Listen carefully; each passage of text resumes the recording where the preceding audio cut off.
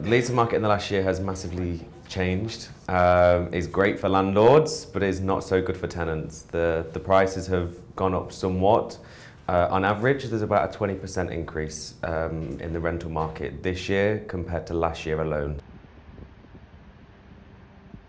New tenants, we're finding they don't complain about the pricing, but people that have lived here, especially for a while, um, are very not happy with how high the prices have gone. But now we're seeing a lot of customers from Europe who are wanting to move here, who are wanting to send their kids to school here, start business here, look for jobs. So we, we're seeing a lot of, a lot of uh, new clientele and, the, and they have kept the market very busy. The sales have increased significantly. Like just from the first half to the second half, there was a 37% increase for these developments. Um, records have been breaking at the land department as well.